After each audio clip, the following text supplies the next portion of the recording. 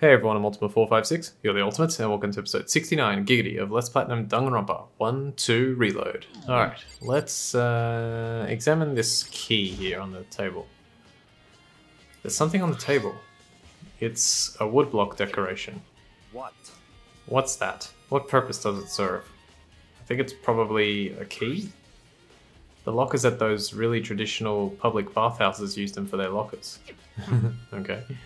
Uh, lockers and lockers. I wouldn't know. I've never gone to a public bathhouse. That doesn't really surprise me. It's hard to picture Byakuya doing something It's like that. Certainly possible. But if it is a key, I think I might know what it unlocks. Really? Hmm. What? Unless I'm mistaken, I'm pretty sure I saw something in the dojo that this might go to. The dojo? Woodblock key has been added to the truth bullet section of your handbook. By the way, this case is masterfully done. Like, when we get to the end, it's really, really cool. Uh, okay, let's speak to Byakuya first. What? You wanted to come here, right? So what is it you're looking for?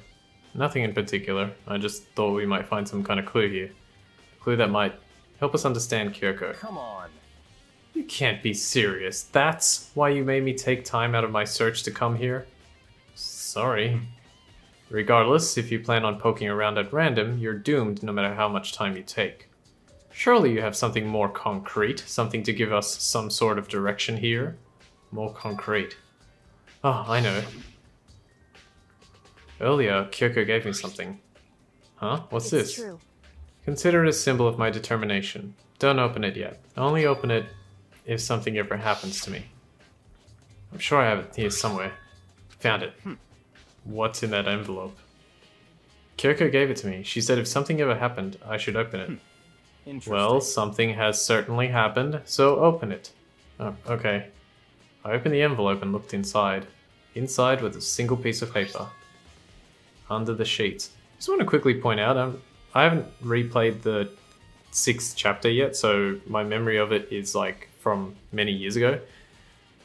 Does the fact that it's printed and not written mean anything? I can't remember. I wonder if that comes up. Anyway, it's just something that I know. Don't answer that. That's rhetorical, but I'm just saying. I wonder if that matters. I never noticed about that because when you think about like for example the the what's it call it um the handwriting from Hero uh, in one of the previous chapters um that was definitely written. This is definitely typed. What? That's all that was in there. Yeah, it looks like it. Under the sheets. What could it be? Well, I wonder what it could be. but could something be hidden under the bed sheets? Part of me didn't expect to find anything, but as I lifted up the sheets. What's this? I found a crumpled up piece of paper. Class number 78, student registry. Mukuro Ikusaba. I see. It appears to be Mukuro Ikusaba's profile. Yeah, looks like it. That's probably the other thing Kyoko stole when she snuck into the headmaster's room along with the key. God, you're so annoying. Fine, I'll tell you. It was a key and bleep, that's it. So probably the word uh, letter or report or something like that could be substituted for that blank. This must be the blank that Monokuma was talking about. Kyoko said a death without meaning. Uh, sorry, without meaning. Kyoko said a death without meaning was unappealing, and this is what she left behind. I don't have time for your sentiment, sentimental indulgences. Hurry up and finish your search. Uh, okay. I made an effort to pull myself together, then looked down at the profile sheet. Name Mukuro Ikusaba. Sex female. The ultimate soldier. Although small for her age, she was a military specialist trained in every weapon type imaginable. She showed an interest in the military from childhood, and soon found herself completely absorbed in it. In elementary school, she won a survival game uh, tournament and began writing for military magazines. Just before entering middle school, while she and her family were on vacation in Europe, she disappeared. The story of a young Japanese girl being kidnapped quickly took over Japanese media outlets. An intense international investigation turned up no information, and she was never found. However, she reappeared in Japan three years later, alone and completely un- unannounced. She revealed that she had joined a mercenary group known as Fenrir for those three years. She insisted that she hadn't been kidnapped, that she'd received battle training of her own volition. However, she never revealed why she decided to return home when she did. There's a lot of she's in there. Mukuro's profile has been added to the truth bullet section of your handbook. The Ultimate Soldier, a mercenary group. This doesn't feel real. The world I grew up in, it's like a completely different dimension. It's like one's non-fiction, the other is sci-fi. There's no way to even compare the two. That's how different this is. That was how I saw things as just an ordinary person. But then, I see. I never imagined I would hear the name Fenrir in a place like this. Huh? You recognize it? Naturally. The Fenrir Mercenary Corps is a collection of battle crazed warmongers. But they do have their uses, and they always get the job done. That's worth remembering. This is all part of a world totally removed from the one I live in. Hmm. I have to say, I'm intrigued. Every rumor I've heard says that Fenrir has already. Found it. Whoa! I feel like our hero is becoming a bit player, and a bit player is becoming our hero. Uh, it's you. What? Hmm, what have you got in your pretty little hand there? Uh oh, you found her profile. So, so what if we did? Hey. Don't freak out on me. I'm not gonna hold it against you or, or anything. And in case you're wondering, I don't hold it against Kyoko either, even though she stole it and hid it. After all, there's no rule against stealing, is there? But who I can't forgive is Miss Ogami, who broke the rules and busted into the headmaster's room.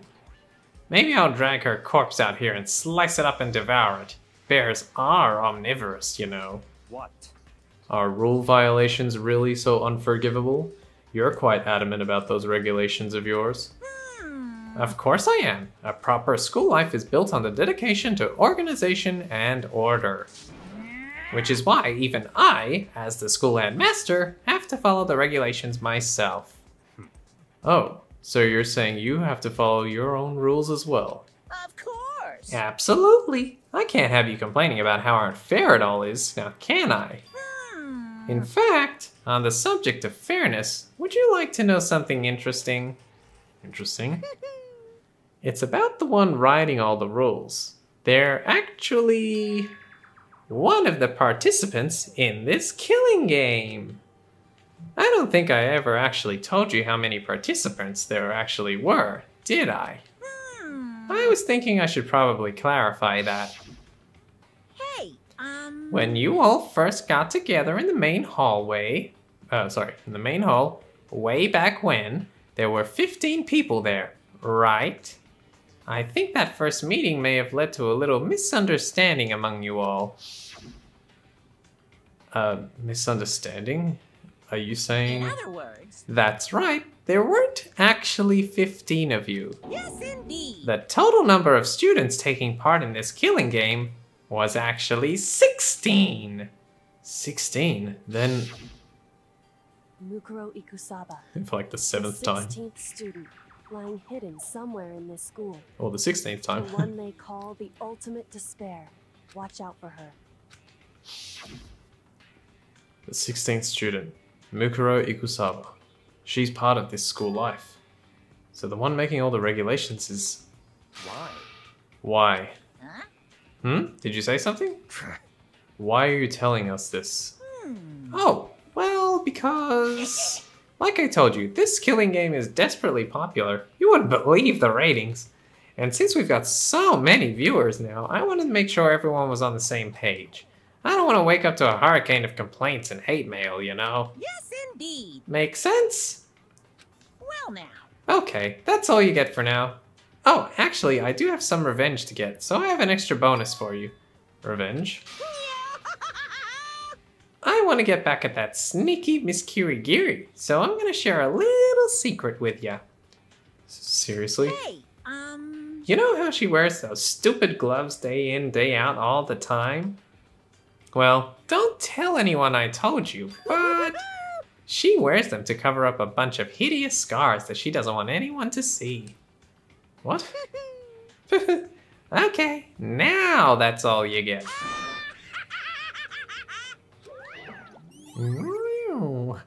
Monokuma's account has been added to the Truth Bullet section of your handbook. Kyoko wears those gloves to cover up a bunch of scars? Wait, so on the back of her hand. The tattoo. Wait, but no. Monokuma specifically said there were scars, right? That's why Kyoko wears those gloves to hide the scars, which means those fake nails on the corpse. Hmm. Are you thinking about Kyoko again? Huh? What? Forget about her. What matters right now is uncovering Monokuma's trap. His trap? Such ignorance. God must have really hated you to make you so dull. Hmm. Don't you remember what Monokuma just told us? He said there were 16, 16 students, right? Which means Mukuro was a student That's here. right. Obviously, Monokuma was trying to tell us that Mukuro is the one creating the rules to the game. But why would he tell us that, and why now? He said he wanted to make things clear so there wouldn't be any complaints later. But the mere fact that he said that proves that Mukuro is connected to this case. That's why Monokuma revealed the existence of a 16th student. He needs to make our investigation fair. Mukuro is related to the case? It's certainly possible. Perhaps she's the one who killed Kyoko. What? Hmm. That would explain why we'd ha- we would have to have a class trial, wouldn't it? If she's a student and she killed someone, that would make her part of the school killing game. Mukuro is the killer? She killed Kyoko? Hmm. Anyone should be able to come to that conclusion, don't you think? In fact, that's exactly what I thought when the investigation first began. What? But based on what Monokuma just told us, I've changed my mind. It's all clear now. Mukuro Ikusaba isn't the culprit. Huh? What makes you say that? We thought Mukuro, the ultimate despair, was the mastermind's true identity. But if that's true, Monokuma's behavior makes no sense. Why would the mastermind go out of their way to reveal themselves to us? That's a good So, point. In other words, Mukuro giving us information that would raise questions about her wouldn't be bold, to say the least. It makes more sense then to assume that Mukuro isn't the culprit. So that's the trap. They want us to suspect Mukuro and come to the wrong conclusion. Hmm. That's what makes sense to me. The way you say it definitely does seem possible, but if that's really true, if Mukuro isn't the killer, then who is? Hmm. Well then, I believe our work here is finished. Let's move on. I'm sure there are other places in need of investigation. I should find out if that key and dojo really are connected. let's go. Well, are you coming? Okay, so now we're gonna go straight to the dojo. Hopefully I've timed this properly. Should it, even if it goes to 20 minutes, that's good. Uh, let's just talk to him real quick. Hurry up and check the locker. That's what we're here for, after all. Alright, so locker number six. There are wooden lockers here. They use woodblock keys, just like at those super traditional bath public bathhouses. It looks like the key we found in Kyoko's room really does go to one of these lockers. I see. Makoto, do you see the locker farthest to the right? Very strange. That's the only one that doesn't have a key in it at the moment. You understand what that means, right? I should probably use the key we found on that locker, right? That's right. Well, just try it. Oh, okay. I took out the woodblock key and inserted it into the locker's metal lock, and click. The locker eagerly accepted the key, and it opened. There are arrows in here. It looks like 10 arrows in total. Hmm. They look like they're made of titanium, which means they're quite strong despite how thin they are. Of course, without a bow, they're nothing but strong little sticks. Strong sticks? Titanium arrows has been added to the truth bullet section of your handbook. Oh, there's something else inside the locker. It's a wadded up ball of duct tape. I wonder what this was used for. Is that a bloodstain? See. If it is, that means it surely must be related to the case. This duct tape is related to the case somehow. But how could it possibly be involved? Cool. Bloody duct tape has been added to the truth bullet section of your handbook. I think that's all the locker has to offer for now. Alright, almost done. Something Very wrong? strange. It's very odd, don't you think? The locker was hiding items that were clearly related to the case. But how did the key to the locker wind up in the victim's room? Why? Or perhaps. Hmm. Forget it. Come on, we need to continue on to the next location. Huh? What next What? location? There's still something we need to look into. We need to do more research on Fenrir. Fenrir? You mean the mercenary group that Mukuro was a part of? But how are we supposed to find out about that? Isn't it obvious? Where in the school would you go to do research on something? Research. Are you talking about the archive? That's right, the archive has all kinds of info that the general public doesn't have access to. Let's go. We only have so much time before the trial begins. Let's hurry. Alright, this will be the last thing, and then we're pretty much ready to go, so Hopefully I can get through this in time. Hmm. I believe there was a file related to Fenrir somewhere over here. The Byakuya seemed to know the archive like the back of his hand and went straight to the shelf, straight to a shelf in the back. Hmm. Ah, here we go. He quickly returned with a file in hand. Okay, quickly click on him. I see. Take a look at this. Um, I have no idea what it says. What language is this? How did you make it all the way to high school without learning a single word of French? Um, I'm pretty sure most high schoolers can't speak French. Well, whatever. I'll read it for you, but I expect you to repay your debt a hundred times over. A hundred times? Isn't that kind of extreme? Fenrir is an elite fighting unit based out of the Middle East. Unlike military contractors, they are a fierce group of soldiers who engage in direct combat. They claim that a single member is equivalent to an entire company of regular soldiers. Just like Fenrir, the Wolf of Ragnarok, their mere pre- presence is enough to strike fear into any enemy. They have been involved in countless military battles and operations, most of which are highly classified.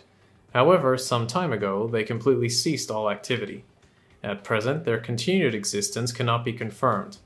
There are unconfirmed reports that the key members of the group were all neutralized.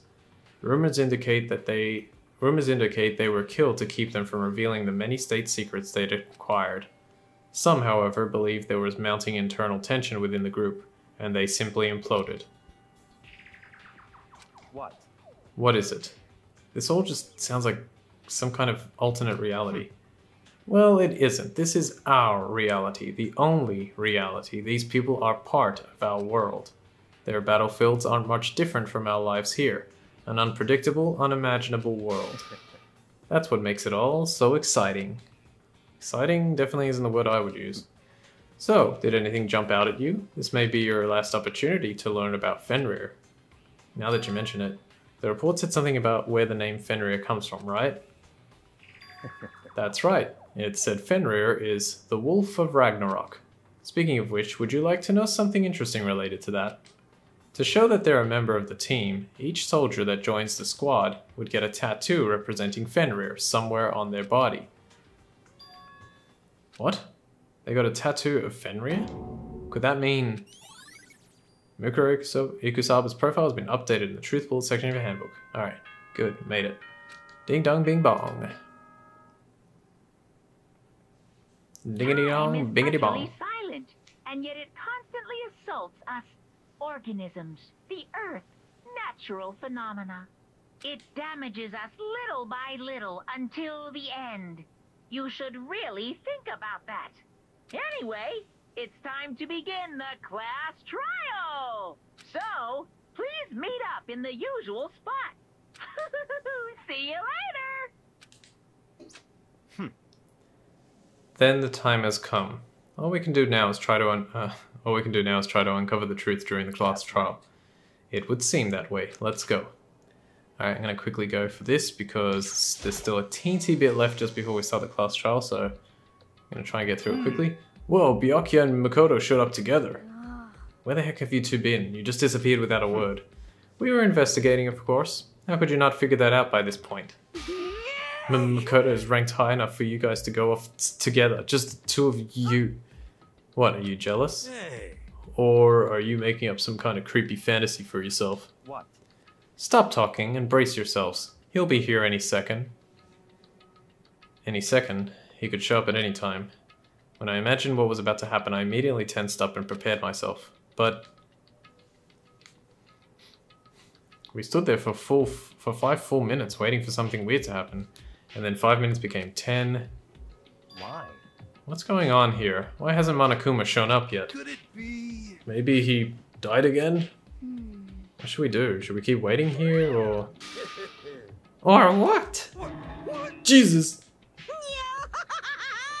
Did I scare you? Come on. I demand an explanation. Why did you waste my time and make me wait like that? Hmm? What? I made you wait? You got it all backwards. You're the ones making me wait. Huh? In other words, I'm waiting for everyone to arrive. We can't start till everyone's here now, can we? What are you t- talking about? Everyone is here. We've all been waiting for you. Sorry, but you're wrong. But I've been waiting 10 minutes now, so it's okay if I punish the one making us all wait, right? If we all agree it's a violation, I'll arrange a punishment right now. If it's me you're waiting for, I'm here.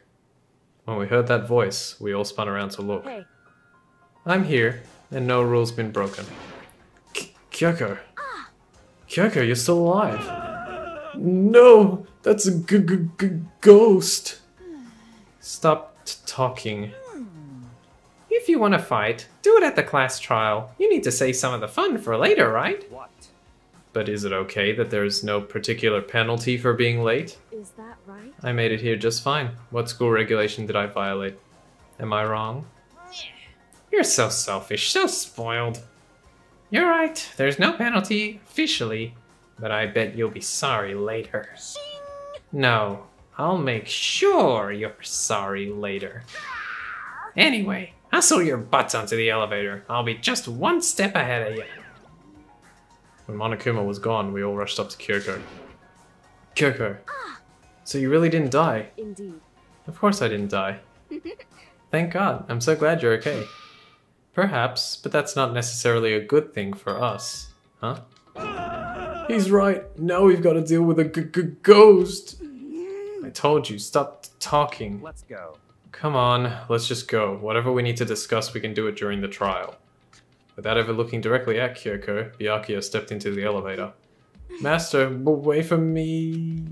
Um. Good call. Who knows what might happen to us if we take too long. But I'll be happy when this trial is all over. One after another, everyone piled into the elevator. But I couldn't help myself. I had to talk to Kyoko before the trial started. Alright, I'm gonna quickly talk to her, and it's gonna take another two minutes, and then I'll end the episode. Listen, before we get started, I have to ask you. Where have you been this whole time? You used that key of yours to go somewhere, didn't you? Correct. So, I went to investigate the second floor of the dorm. So this is the one next to the dorms where it's next to the warehouse. It was locked. She used the key to go there. So she, yeah, she found out how to get up there. That's pretty cool. I went to investigate the second floor of the dorms. The second floor? That's right. There aren't any monitors or cameras there, so I was able to avoid Monokuma completely. Of course, I also missed his announcement because of that. I had no idea a body had been discovered. Then, when did you find out? So, Just now, I finished my search and came back down just in time to hear the class trial announcement. I took some time to go over the crime scene first. I can't go into a trial completely uninformed, can I? So that's why you were late. however, I'm sorry I kept you all waiting. But if you were on the second floor of the dorms, then that's what the key you found goes to? wrong. Actually, to be precise, not quite. In other words, I used Monokuma's secret tool, which can open any lock in the school. What? Kyoko's account has been added to the truth bullet section of your handbook. just a second. Hey, what are you two doing? Hurry up before we get in trouble with Monokuma. Makoto. We can go over all the details after we get through this trial, okay, Makoto? Right now, I just want to focus on surviving our current situation, It because this is probably the single most crucial moment so far for me. For her? That's a strange way to put it.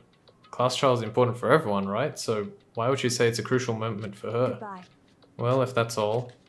Seemingly unconcerned, Kyoko made her way to the elevator. I'm just overthinking what she said, right? Uh, now I wish I had kept going until 20 minutes last time. It would have made this just perfect. Oh well, that's how it goes. Um, Alright, so yep, we're about to start another class trial. This is going to be a fascinating one. Very, very, very cool things are about to happen. Okay, but for now, I do want to thank you all for watching episode 69 of Let's Platinum Danganronpa 1 2 Reload. My name is Ultima456, you're the Ultimates, and I'll see you next time.